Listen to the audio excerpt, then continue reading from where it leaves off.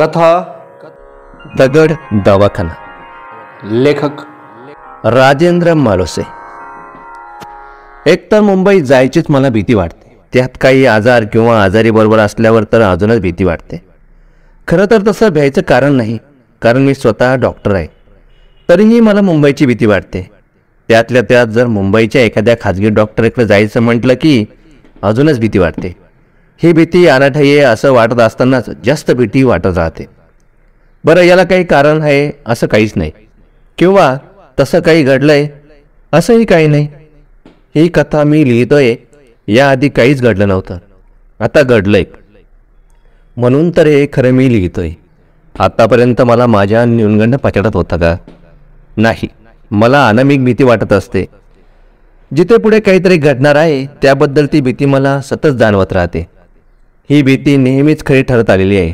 आणि आत्ताही ती खरी ठरली आहे. म्हणून तुम्हाला माझी ही कथा वाचण्याशिवाय पर्याय नाही. माझ्या भीतीच्या प्रेमापोटी मलाही त्यावेळी पर्याय नव्हता मुंबईत जाण्याशिवाय. म्हणून तुम्हाला यावेळी मी भेटीस धरणार. धरणार म्हणजे धरणार. चांगले गचके बसेपर्यंत. आधी मी ठरवलं होतं की आपणच म्हणजे मीच या कथेचा नायक व्हायचं. पण नंतर विचार केला की उगीच कशाला वातावरण तयार करायचं आणि दुसऱ्याची हिरो होण्याची संधी घालवायची? दुसऱ्याची म्हणजे जगदीशची. जगदीश म्हणजे या कथेचा नायक. मी त्याला अजूनही जग्गोबाळ अशीच हाक मारतो. परंतु आता तुम्ही म्हणाल की मी कशाला मध्ये? तर मी असं ठरवलंय की ही ग- कथा घडली तेव्हा मी होतोच ना तिथे. मग मी मध्यस्थ म्हणून काय बघणार? मध्यस्थ पात्रापात्रातला वाचक आणि हिरो यांच्यातला वेळ पडली तर प्रसंगही खुलवणारा. थोडक्यात कथा चांगली वाटली पाहिजे. थोडक्यात ही जगदीशची कथा. Jagdish M B B S म्हणजेच डॉक्टर जगदीश येवळीकर. संपूर्ण नाव. हा पुस्तकातला किडा. वाचणार खूप. चार भिंतीत. वाचताना पोहे खाणार किंवा भाजलेले पोहे किंवा दडी फोडणी भात खाणार. कुणाशी बोलणार नाही. बोलणार तेव्हा एडचाप सारखं बोलणार. आत्मविश्वास कशाशी खातात? तर जास्तीत जास्त भाताबरोबर ही त्याची धारणा. कपड्याची विशेष आवड नाही. पोरींशी आता आता थोडासा बोलायला शिकलाय. तेही कसं? उदाहरणार्थ कुठे चाललायस जगदीश? त्याच्याकडे पाहून ती कुठे नाही? उर्ध्वदी शेकडे पाहून हा मी येऊ का तुझ्याबरोबर? नको नको विंचू चावल्यागत. हा किंवा जगदीश दे पार्टी कशाबद्दल? तू पहिला आलास ना टर्म एंडिंगला मी चहाही पित नाही बालके जग्गू. म्हणजे बघा ही त्याला पार्टी मागते आणि तो देत नाही थोडक्यात जगदीश म्हणजे मध्यमवर्गीय. अजून थोडक्यात जगदीश तसा दिसायला बरा सावळा नीटसा नाकी डोळी उंची चांगली पावणे सहा फूट कुरळे केस चमकदार डोळे पण चेहऱ्यावरचे भाव भाजीत मीठही नाही आणि तिखटही नाही. ते खाल्ल्याबरोबर चेहरा कसा होईल? तसे. खांदे खूप ओझे पडल्यासारखे झुकलेले. मान तशीच कुठेतरी जमेल तिकडे झुकलेली. हात कुठे ठेवावेत? अशा संभ्रमात कायम हाताच्या हालचाली. कधी खळाळून हसणं नाही. कधी समरसून रागवणं चिडणं पण नाही. मला जगदीश एका भूमिकेत विशेष चांगला दिसत आलाय. तो म्हणजे हिंदी पिक्चरमधला पळवून आणलेला वैज्ञानिक. ज्याला अणू किंवा तत्सम गोष्टीतलं राज माहीत आहे आणि आता हा जगदीश. ॲप्रन डोळ्यावर चष्मा विस्कटलेले कुरळे केस घेऊन विलन कंपनीच्या प्रयोगशाळेत उभा आहे. देशावर भरपूर प्रेम आणि इकडे गँगची टेस्ट ट्यूब हातात. त्यात रसायन यावेळी जगदीशच्या म्हणजे त्या वैज्ञानिकांचे चेहऱ्यावर कुठले भाव असतील? तसे भाव. तसा चेहरा तसं वागणं तसं चालणं. म्हणजे मूर्तिमंत आपला हिरो जगदीश. आताशी तुम्हाला कळलंय जगदीश कसा आहे. ते आणि माझा एक सिद्धांत तुम्ही नेहमीप्रमाणे खरा ठरवला. हिंदी पिक्चरचं उदाहरण द्या. वाचकांना पडतं आपल्याला काय सांगायचंय ते? माझ्याही आयुष्यात असा एखादा दिवस उगवतो. उठल्याबरोबर पोटात मोठा खड्डा. रहाट पाळण्यातून खाली येताना पडतो तसा मोठा खड्डा. आजचा दिवस कसा जावा? कसा जाईल? आत्मविश्वास उगीच सकाळी सकाळी जातो. तसा मोठा भीतीचा गोळा घेऊन दिवसभर फिरायचं. दिवस तसा असा लांबलचक कामल्यास नसलेला समोर पडलेला कधी संपेल दिवस असं होतं. आजच आजचा दिवस होता. त्यामुळेच मी आजही काही लिहू शकलो नाही. कदाचित आज मी आणि जगदीश दोघांचा दिवस सारखाच असेल. एक दिवस अचानक मला तिने बोलवलं. घरी तिच्या. तर ती रडत बसलेली. का रडतेस? जोराचा ओंदका. अगं पण हे बघ काही सांगशील की नाही? प्राप्त परिस्थितीत पुरुष वर्गाची गोची सांप्रट ठरलेली असते. काही कळत नाही हे फुटलेलं धरण कसं रोखावं ते अगं पण सांग ना ती एक पत्र माझ्याकडे सरकवते कारण ती गोष्ट एकोणीसशे ब्याऐंशीची. मी वाचत जातो मग मला कळतं तिचं रडणं. पण जगदीशचं असतं पत्र त्या काळी तो पहिल्या वर्षाला असतो एम बी बी एसच्या हॉस्टेलला राहण्याची सवय नाही त्या राहण्यालाही बरेच गट्स लागतात. तो ॲडमिट असतो वार्डात कारण जुला वांत्या इथपर्यंत ठीक. पण त्याला तपासणारे डॉक्टर म्हणजे आमचे सर खूप हुशार. त्यांनी जगदीशला सांगितलं असतं की तुला हृदयरोग आहे. हृदयाची एक झडप खराब. तुला पूर्वी काही त्रास होता का? नाही. तुला आधी कुणी डॉक्टरनी नीट तपासलं नाही का? नाही. काहीच त्रास नाही. पण आजार तर आहे. जगदीश अजूनच बघतो आणि तिला पत्र लिहितो.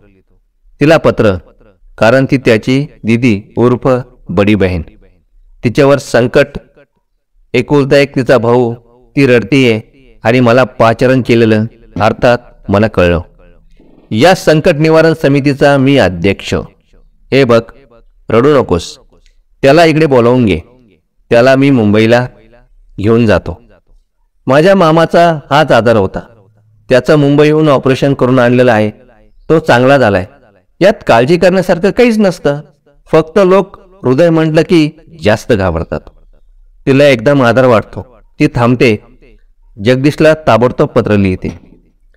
जगदीश येईल तेव्हा बघू. मी तिचं सांत्वन करीत सुटतो आणि मनातल्या मनात ते दिवस आठवत राहतो. तो दिवस एकोणावीसशे ऐंशीचे दिवस आठवतात. माझा मामा श्री त्याचं नाव. बी एस सी ॲग्री घरी दोनशे एकर शेती तोच पाहतो शेती आणि हा आजार. हृदयाची एक झडप खराब. पूर्वीच सांगितलेले ऑपरेशन आवश्यक. घरचे लोक ऑपरेशनच्या विरोधात. कारण पिढ्यानपिढ्या चालत आलेली अंधश्रद्धा गैरसमज इत्यादी. योगायोगाने श्रीमामा माझ्या वयाचा. आजोबाचा दोष एक दिवस तो माझ्याकडे येतो. खूप दम लागतो सांधे दुखतात छातीत धडधड होतं. मामा बरं व्हायचंय ना? अजून तर लग्न करायचं आहे. बरं व्हायचं असेल तर ऑपरेशन हाच इलाज. नाहीतर लग्न करू नकोस. मीही नवीन डॉक्टर झालेला त्याला दमात घेतो. घरचे लोक हे नेहमीच नाहीच म्हणतात हे बघ मामा पंधरा हजार रुपये लागतात. कुठूनही आण घरी सांगू नकोस. मी येतो तुझ्याबरोबर घरी ऑपरेशन झाल्यावर कळू. ते धाडस केल्याशिवाय तुझं आयुष्य वाढणार नाही. अगदी वाईट शब्दात सांगतो तुला. घरी काय सांगायचंय? नाना नानींना सांग. मुंबईला तपासायला चाललोय. आठ दिवस लागतील. ते बरोबर आले तर? त्यांना सांग. मी माझा दवाखाना बंद करून बरोबर येतोय. मी तर हवं हवं तर पत्र देतो. झालं. श्रीमामा घरी गेला. मी पत्र लिहिलं. आठ एक दिवसांनी मामा हजर. त्याला मुंबईला घेऊन गेलो. माझा एक मित्र हृदयरोग शल्यचिकित्सक त्याने सर्व तपासण्या केल्या आणि जे जे हॉस्पिटलला ऑपरेशन ठेवलं. तर समस्त वाचक हो. त्या दिवशी तीन हृदयाची ऑपरेशन झाली. तिघांनी आयता झडपा बसवण्यात आल्या. बाकी दोघांबरोबर नातेवाईकांचा प्रचंड मोठा घोळका आणि श्रीमामाबरोबर मी एकटा. एक पंजाबमधला पेशंट एक कर्नाटकमधला आणि मामा महाराष्ट्रातला. पंजाब आणि कर्नाटक बरेच आजार वाढलेले पेशंट महाराष्ट्र थोडासा बरा. झाले तिघांचे ऑपरेशन. तिघेही बहात्तर तास अतिदक्षता विभागात. मध्ये जाण्याची परवानगी नाही. डॉक्टर मित्र आला तर त्याच्याबरोबर कसा बसा मी आज जाणार आणि बाहेर आल्यावर पंजाब कर्नाटक मला छळणार. आमचा पेशंट कसा आहे? कधीतरी एखादी नर्स येऊन बाहेर डोकं काढून ओरडणार. पंजाब का रिश्तेदार ज्यूस लेके आओ. तो ज्यूस आणून नर्सच्या हातात देणार. बाकी सामसू. जाता येता डॉक्टर जेव्हा दार उघडतं तेवढ्या वेळात जे दिसेल तेवढं. बाकी वरांड्यात मुक्काम.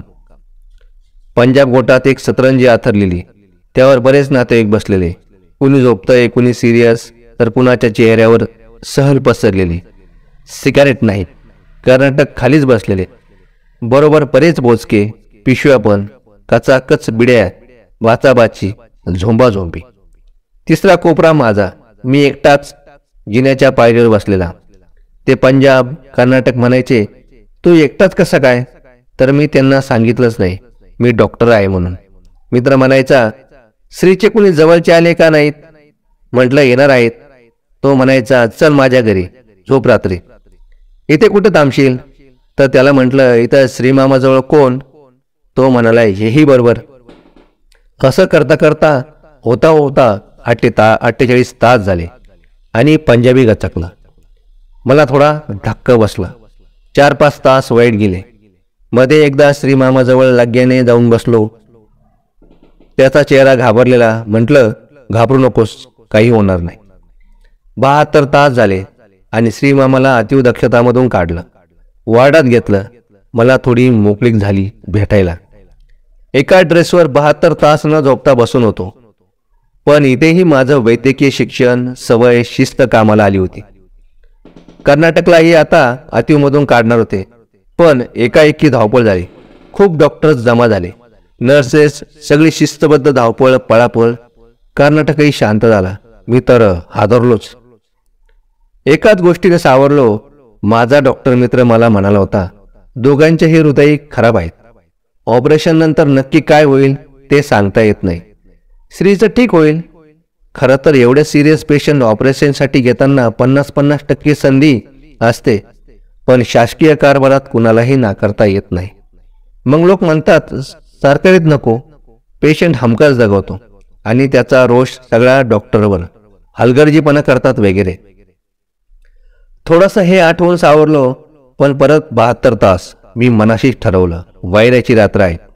मित्राकडे गेलो त्याला सांगितलं काही कर हा बारा झाला पाहिजे. मला दिसत होतं घरी फार मोठा बारदाना सात भाऊ चार बहिणी टिपिकल पुराणमतवादी घरं माझी क्रांती वगैरे विचारणं ऐकणारे लोक आणि मी श्रीमामाला उचलून आणलं होतं. आता काही का होईना जर माझा हा उठाव फुसकाबार ठरला तर मोठा भीतीचा गोळा. वास माझा मलाच येत नाही.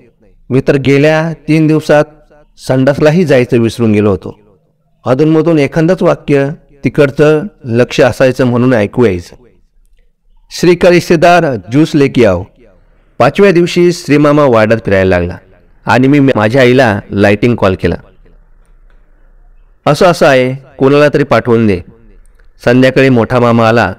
मला त्याने जेजेंच्या वरंड्यात गावरान शिव्या घातल्या. कौतुक मिश्रित. श्रीमामांच्या तोंडावर राहून गळ्यात पडला. नंतर मला विचारलं काय डॉक्टर किती दिवसात आंघोळ झोप नाही? जावा आटलेट बिटलेट जावा बसकळून यावा. आणि माझं टेन्शन गेलं. ओपन हार्ट सर्जरीच पण मी अनामिक भीती घर करून राहिलो यार. कुठेतरी अंगात बिनली मलेरियाची थंडीसारखी. दिवस संतपणे जात राहतो माझ्या डोळ्यासमोरून. संत लईत माझ्या मनातली माझी गती खूपच वाढलेली. भरभरवून विचार येतात. गतीने निघून जातात. दिवस संत चाललेला. कधी पेनात शाईन असते कधी पेशंट खूप असतात. कधी मन गतीत तर हात दिवसाबरोबर संत लईत असा दिवस असे दिवस आपल्या नशिबात काळावेत. आपली संवेदना दिवसाला वेदना म्हणून का जाणवू नये? सगळं बरं झालं. आता श्रीमामा डिस्चार्ज माझ्या मित्राला म्हटलं गोपीनाथ त्याचं नाव. Doctor Gopinath heart surgeon. जे जे वेळ काढ जरा. जाऊ आज जेवण वगैरे. दादाचं प्रीतम हॉटेल. मला श्रीकांत सिनकर आठवले. मला एक कळलं नाही. श्रीबरोबर तू एकटाच कसा काय? गोपीनाथ आम्ही घरी न सांगता आलो होतो. काय? हो. तसं केलं नसतं तर हे ऑपरेशन झालं नसतं. अरे पण हे असं मी समजू शकत नाही. पंजाब दागवला कर्नाटक गेला. तुझी त्यावेळी परिस्थिती काय असेल? अरे यार hats off you to you कसंच कसंच असंच बिल मी देणार. मुंबईत परत जेव्हा जेव्हा येशील त्यावेळेस तू माझा पाहुणा गावाकडचा. डॉक्टर गोपीनाथ बोलत होते मी भरभरून पावत होतो. तो दिवस रात मैत्रीचा होता. असा कधी कधीच भेटतो मित्र भेटतात. त्यावेळी कधी कधी दिवसाला मूड नसतो. दिवस उत्सुक त्यावेळी मित्र गायब. मित्र आणि दिवस ज्यावेळी दोन्ही मला भेटतात त्यावेळी दिवस हे कायमत असतो. आत्तापर्यंत तुमच्या लक्षात आलेलंच असेल मी गोष्टी वेळाळ आहे. सुरुवात कुठे गेली केली होती? कोण हिरो? आणि हा बडबड कुठे करतोय? एकदम मल्टीस्टार हिंदर हिंदी पिक्चर चाललाय. तिथे डोक्याला ताण तरी नसतो. म्हणजे कसा? हिंदी पिक्चरचं सार्थवर्णन बिन भेजे का भजा मराठीत आय मीन बिन डोक्याचं भज. नाही कळलं? भजी खाताना आपण डोकं गहाण ठेवतो की नाही? विचार करतो का खाताना? चांगली लागतात खात जातो. खात सुटतो. मग पोटाचा विचार आपण करीतच नाही. हिंदी पिक्चर तसा पाहिला तर अंगी लागतो. डोकं बाहेर ठेवायचं आणि हिंदी पिक्चर नामक भजं खायचं. बिन भेजे का भाजा तर जगदीश आला म्हणाला भागवत सर म्हणाले ऑपरेशनची गरज नाही. कुणीतरी म्हणालं डॉक्टर वेंगसकरांना दाखव. अजून कुणी म्हणालं अमुक कर पण अमुक करू नको. अजून अजून. पण तरीही मला एक माणूस त्याचा मुलगा आणि गर्दभर आज ही गोष्ट आठवली. मी तिला म्हटलं डॉक्टर गोपीनाथकडे जाऊ. तो म्हणेल ती पूर्व किंवा अपूर्व. ती हो म्हणाली. ते एक बरंच झालं. तेवढा सहवास गेलो तर गोपीनाथ एकदम भडकला. करायला पाहिजे. ऑपरेशन न करणं म्हणजे गुन्हा आहे. मग तिने ठरवलं आधी एक एक ऑपरेशन पाहायचंय. मी म्हटलं ठीक आहे. तर महाराज ऑपरेशन म्हणजे एक टरकच पंचेचाळीस मिनिटे माणसांचं हृदय बंद आणि हृदय फुफ्फुसावर फुफ्फुस यंत्रावर.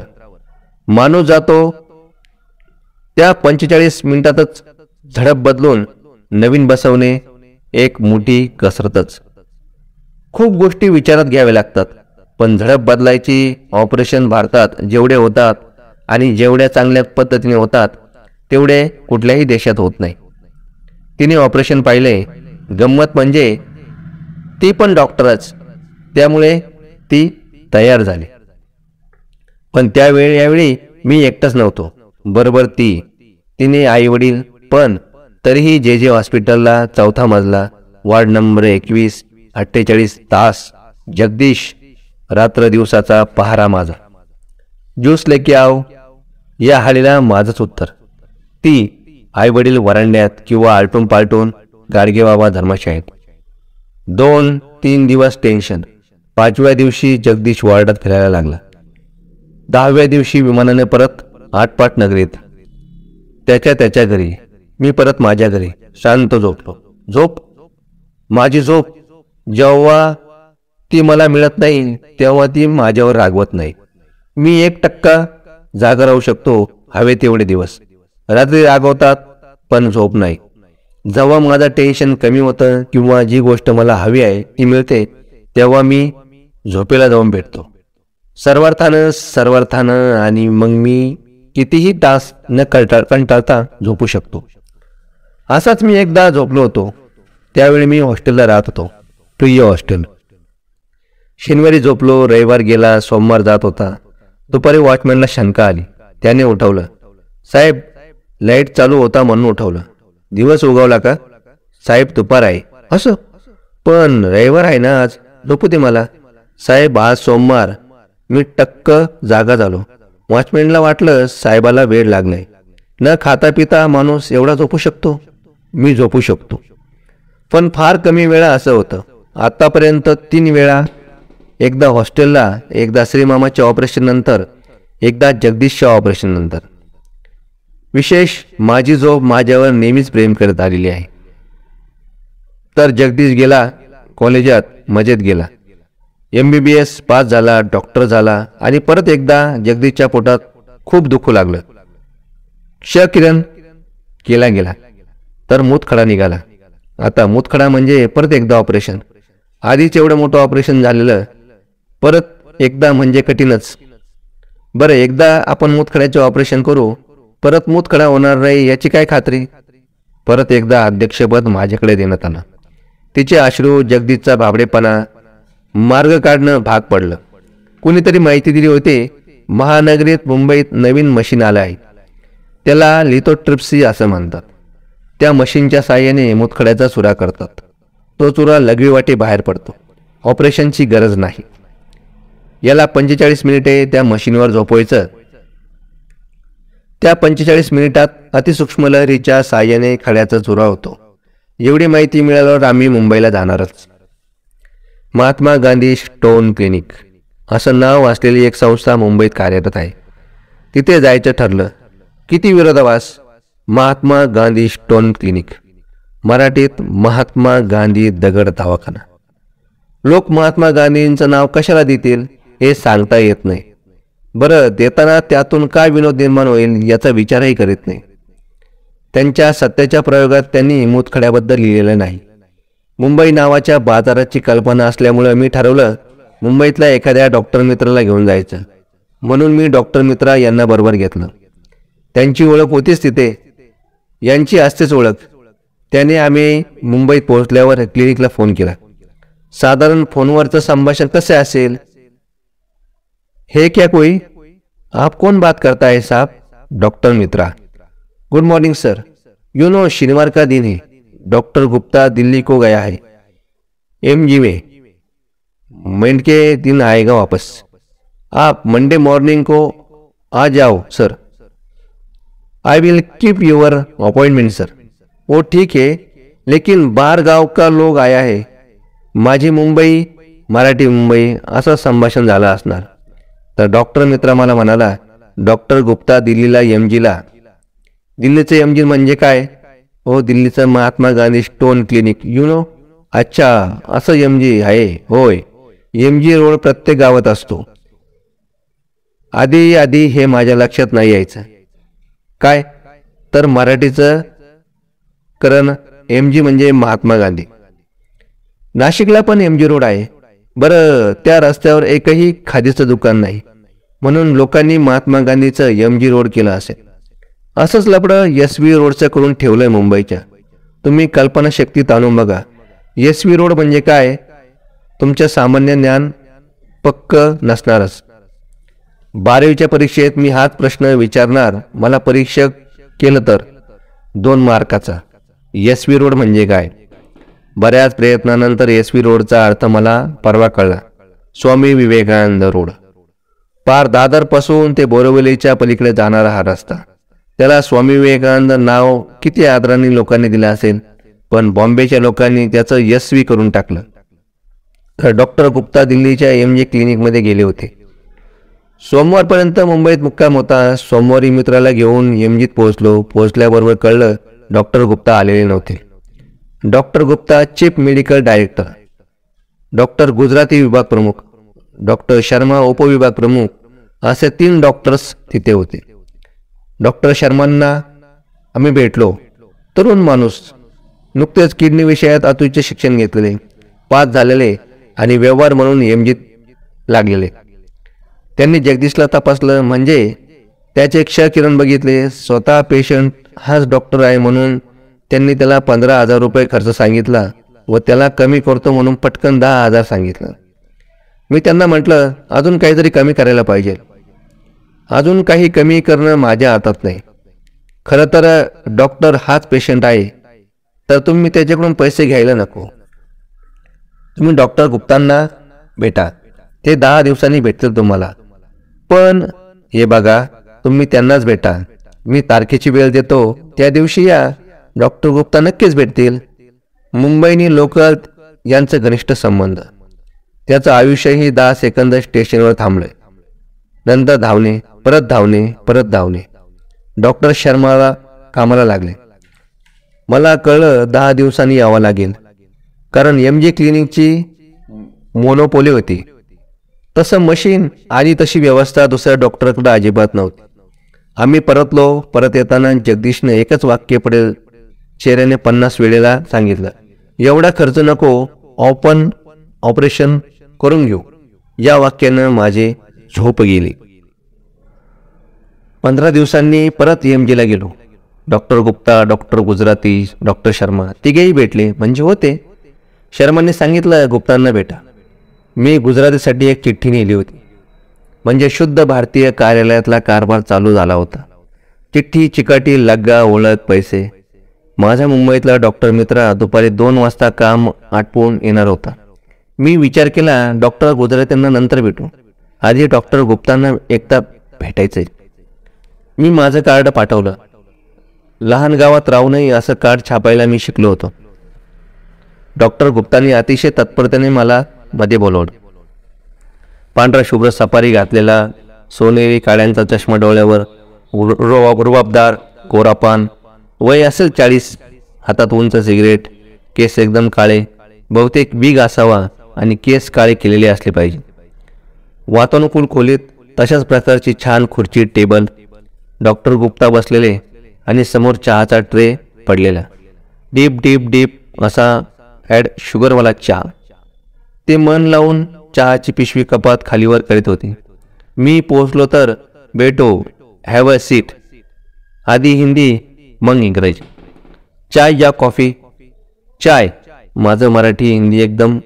एक चाय लाव या परिभाषेतलं. त्यांनी मन लावून कपात चहा ओतला. मग दूध आणि आता ते हिंदी पिक्चर सारखं म्हणणार की चिनी एक चम्मच या दो.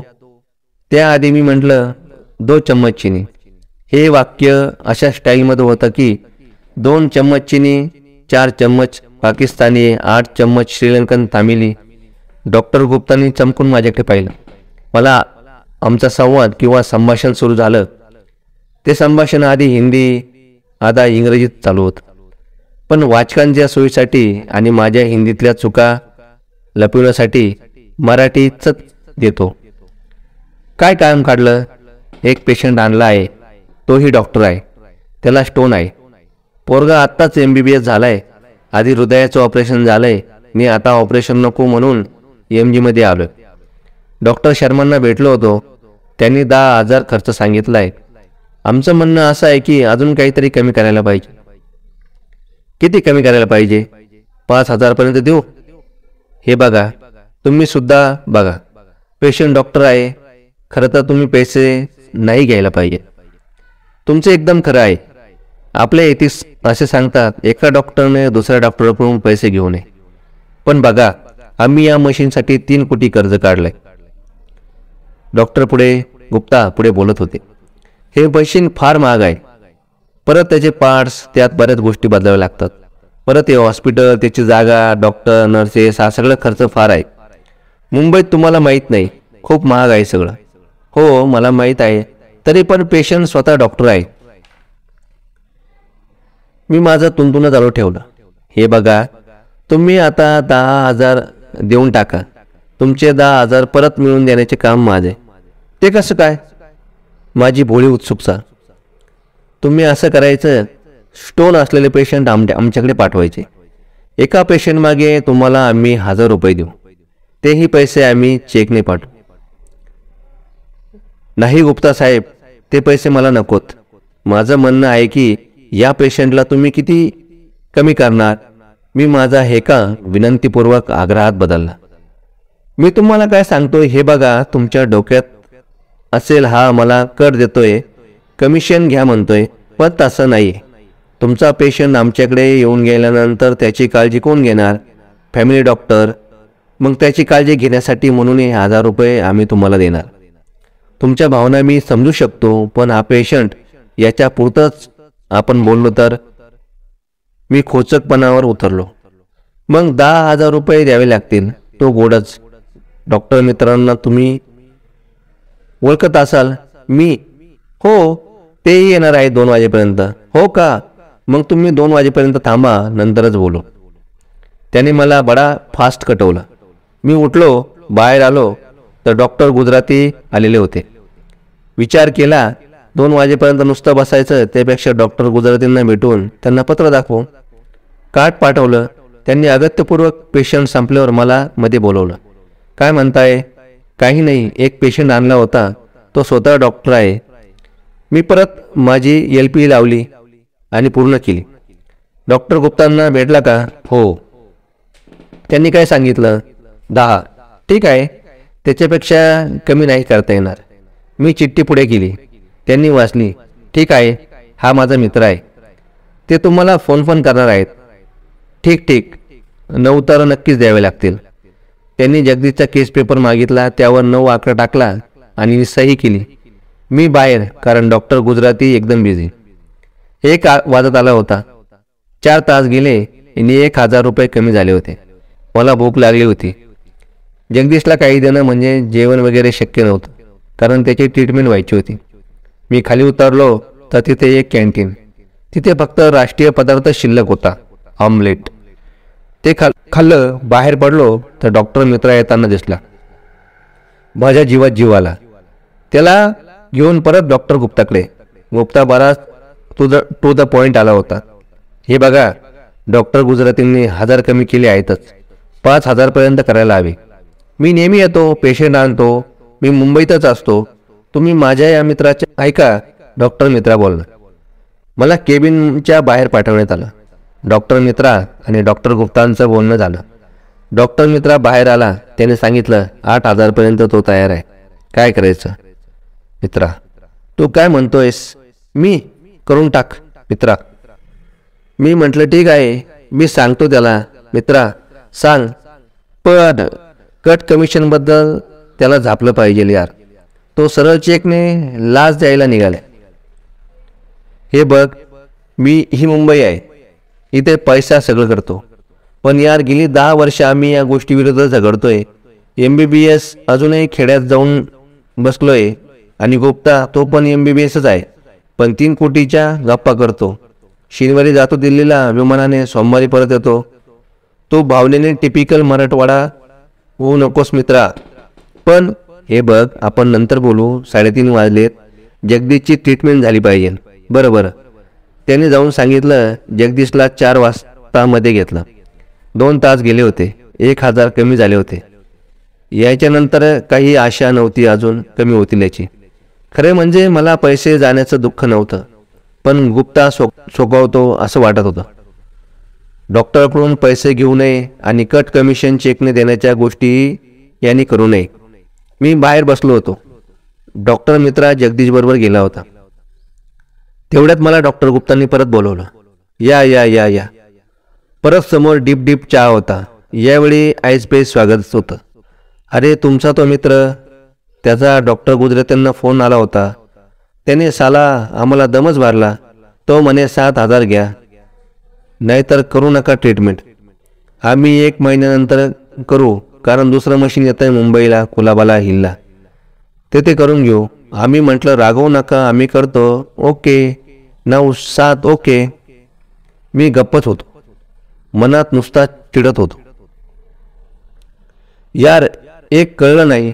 नाशिकहून त्या डॉक्टरचा फोन येतो. डॉक्टर मित्रा तुमच्याबरोबर you are really V I P कुठलं गाव तुमचं? परत मी कार्ड पुढं सरकवलं. सुरगाणा कुठं आहे नाशिक जिल्ह्यात? म्हणजे कुठं आहे किती तास लागतात? पाच तास म्हणजे जवळ आहे. पण एवढ्या लहान गावात कसे काय गेलात? मी माझा आदर्श त्यांना सांगत बसलो. तो निष्ठेने ऐकत आहे असं दाखवितही असेल. मग डॉक्टर गुप्ता एकदम बोलायला लागला. मीही एम बी बी एस दिल्लीतला. माझी चांगली प्रॅक्टिस होती. तुफान चालायची.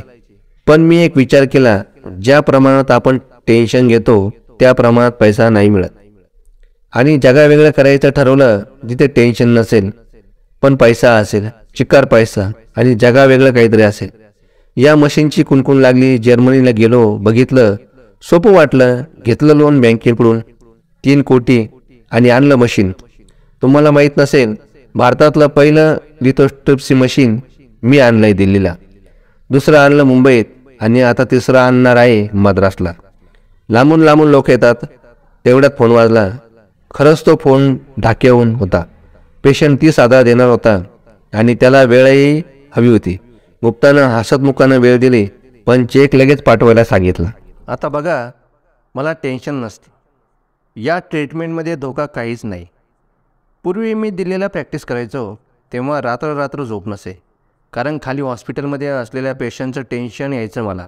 सांगा टेन्शन घेणं म्हणजे आपण आपल्या हातानं आपलं वय कमी करून घ्यायचं नाही का? आता एक मुलगा दिल्लीचं युनिट बघतो एक पोरगा एम बी बी एस होतोय.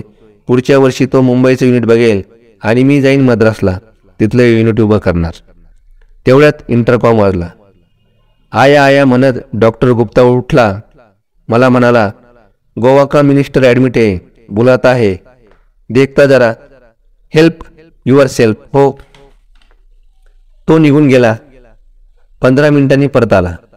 तुम्हाला एक सिक्रेट गोष्ट सांगतो. वो हिरो आहे ना अमित खन्ना. त्याला मुतखडा होता. त्याने आम्हाला चिक्कर पैसा दिला.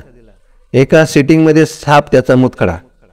परत बिझी माणूस दुसऱ्या दिवशी शूटिंगला परत एखादा हिरो बघायचा मुतखडेवाला. मी त्याची फिरकी घ्यायची ठरवली. एम जी का मतलब क्या होता है? सबके लिए महात्मा गांधी होता है. पण खरं सांगू का? एम का मतलब महक. माझ्या मुलीचं नाव आणि जे का मतलब गंगा मेरी माँ का नाम. पण मग गंगा स्टोन क्लिनिक लोक म्हणाले असते हे काय? मग मी आयडिया काढली. महात्मा गांधी का मतलब एम जी होता आहे लोक म्हणतात महात्मा गांधी मी म्हणतो मय गंगा. त्याने माझी विकेटच घेतली होती. साडेपाच वाजत आले होते. डॉक्टर गुप्ता सातवर आला होता. जगदीश बाहेर आला होता मी उठायचं ठरवलं. अरे बेटो यार. व्यवहार पक्का होईपर्यंत आपण व्यापारी नंतर आपण मित्र बैठो. गुप्ता बोलत होता. मी सांगितलेलं विसरू नकोस. एक पेशंट पाठवा एक हजार रुपये मिळवा. काय? हे बघ आदर्शवाद वगैरे ठीक आहे तुझं वय कमी आहे. माझं ऐक तू. पेशंट पाठव पैसे मिळव पैसा आहे तर सगळं आहे. मी म्हटलं आमच्या भागात एवढी गरिबी आहे की पेशंटजवळ एवढे पैसे येणे शक्य नाही. त्यामुळे मी तुमचा उपयोगाचा नाही. मी तुमच्याकडे पेशंट पाठवू शकणार नाही. हे मी सकाळीच ओळखलंच होतं होतं यार. म्हणून तर सात हजार घेतो. नाहीतर फुकट गेली असती ट्रीटमेंट मी उठलो निल मी उठलो निर्ल निर्लज्जपणाची ही कमाल होती. कळसच होता. मी ताडकन उभा राहिलो. चालता झालो गुस्सा मत करो बाई. मी बाहेर येऊन सुन्न बसलो. तर कुणीतरी म्हटलं नमस्कार. नमस्कार पण मी ओळखलं नाही. मी डॉक्टर वाघ. नाशिक रोडला नाही का आपली जे सी एच्या मीटिंगमध्ये ओळख झाली होती. हा हो, हो हो तिकडे काय? मुतखडा झालाय. किती घेतलं यांनी? अकरा. वा वा वा. मी आपणाकडून तेवढाच मी विचार केला याच्या आज्ञातला आनंद असत राहू द्यावं. आणि डॉक्टर गुप्ता त्याला मी मनातल्या मनात शिव्या आणि मला करंट लागला. जगदीश डॉक्टर म्हणून दहा मी डॉक्टर म्हणून नऊ डॉक्टर मित्राबरोबर म्हणून आठ नाशिकच्या डॉक्टर मित्राचा फोन म्हणून सात गुप्तानं कट कमिशन लाच एका डॉक्टरमागे हजार दिलीच होती आणि तीही मी स्वीकारली होती. असो असो असो. तो कुणीतरी आता मोठा झालाय. नेत्ररोग तज्ज्ञ झालाय. मारला माराडला त्याने गुरुधन म्हणून हॉस्पिटल काढले तो परवा भेटला होता. म्हणाला चांगलं चाललंय. जम लवकर बसला. हो. हो. साठ चाळीस फॉर्म्युला. म्हणजे काय? तुम्ही पेशंट पाठवायचं साठ टक्के तुम्हाला चाळीस टक्के मला. हो का? मी बधीर. पुढे काय? रशियाला जाणार लेसर आणणार. नवीन नवीन गोष्टी भारतात आल्या. पाहिजेत नाही का? हो रे बाबा. परत तू सांगणार तीन कोटी लावलेत. मी या पाचशे स्क्वेअर फूटमध्ये अगदी करेक्ट ओळखला की आला तुम्ही? समस्त वाचक हो. ओळखलं का? नाही ना? कसं ओळखणार? याचे खांदे आता झोपलेले नाहीत. याचे हात जमेल तिकडे पडलेले नाहीत. आता हा रुबाबदार दिसतोय. आत्मविश्वास त्याला लागून पडतोय. ओळखलात की नाही? हा डॉक्टर. आता मला सांगा माझा पराभव मी कुणाला सांगू? महात्मा गांधींना सांगितला तो बरा.